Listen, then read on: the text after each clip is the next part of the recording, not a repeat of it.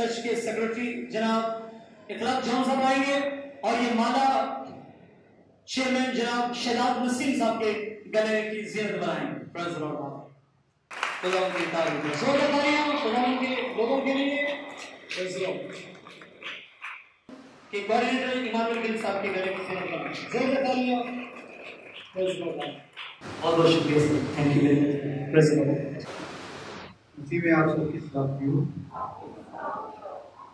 जैसे कि हमारे चेयरमैन साहब ने आपको बता दिया कि हम लोग पूरी कराची में और हमारे जितने भी चर्चेज हैं, किसी भी मिशन का चर्च है, छोटा है, बड़ा है, सब में अपना एक हिस्सा डालने की कोशिश की है।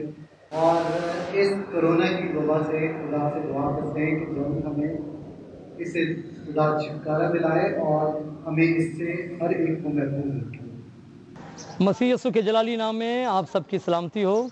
मैं पादरी Rashid Anayat Dani revival church, Orangi town Karachi city moderator.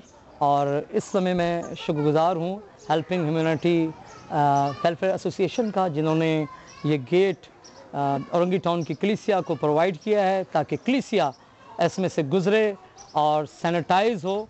और ये गेट हमें मसीह यसु की भी याद दिलाता है। यसु मसीह ने कहा कि मैं भेड़ों का दरवाज़ा हूँ। आमिन।